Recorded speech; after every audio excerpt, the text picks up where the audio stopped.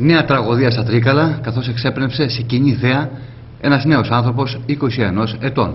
Ο άτυχος νέος βρισκόταν στην πλατεία του χωριού του στο Γλίνος Τρικάλων όταν έχασε τις αισθήσεις του και σοριάστηκε στο έδαφος. Αμέσως περιοίκοι ειδοποίησαν στον στενοχώρο του ΕΚΑΒ που μετέφερε τον νεαρό στο νοσοκομείο Τρικάλων όπου απλά διαπιστώθηκε ο θάνατός του και ακολούθησαν σκηνές τραγωδίας με τους συγγενείς του νεκρού να μην μπορούν να πιστέψουν το χτύπημα της μοίρας. Πρόκειται για τον Κωνσταντίνο Μπραζιώτη του Χρήστου, που η νεκροψία νεκροτομή θα αναδείξει τα αίτια του ευνίδιου θανάτου του.